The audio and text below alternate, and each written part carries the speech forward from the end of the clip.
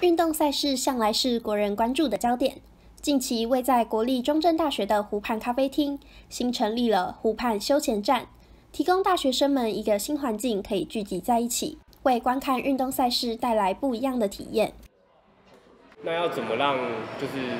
湖畔的形象，就是让学生愿意走进来？所以我们就决定说，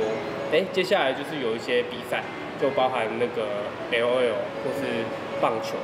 那因为 L O L 的话是在十一月多就开始打，但是我们来不及去做规划，所以我们就把它锁定在呃棒球赛。那老板就是也是把里面的空间就是整理好，所以我们就是想要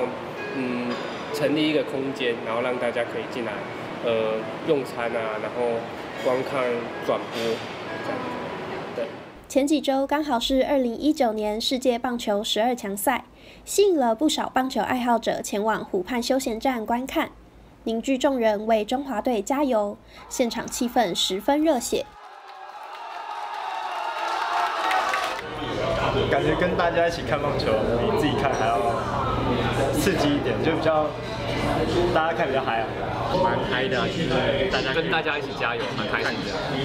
我觉得不错，因为其实国外有很多那种就是运动酒吧，我就是让大家一起看棒球、看运动的场所，就是大家一起看，然后就是也可以凝聚大家的那个就是爱棒球、爱运动的那个心。然后呃，我觉得这样蛮好，就让大家可以多个话题，或多个一起兴趣，或交个朋友，不错。对于未来在没有赛事的期间，该如何延续湖畔休闲站，将会是一大考验。发起人扮演着凝聚运动爱好者的重要角色，期望在没有赛事的期间，也能举办活动，提供一个好环境，让同学们多一个休闲去处。在没有赛事的期间的话，我们打算就是去做，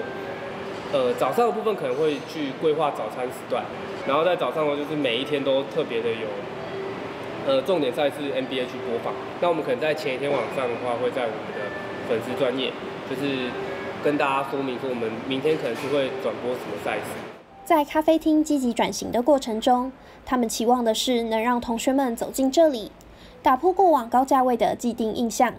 缩短与同学们之间的距离感，也不必出校外就能有一个空间，让同学们聚集在一起观看各项赛事。中正一报吕丽婷、郑孝良，中正大学报道。中队，加油！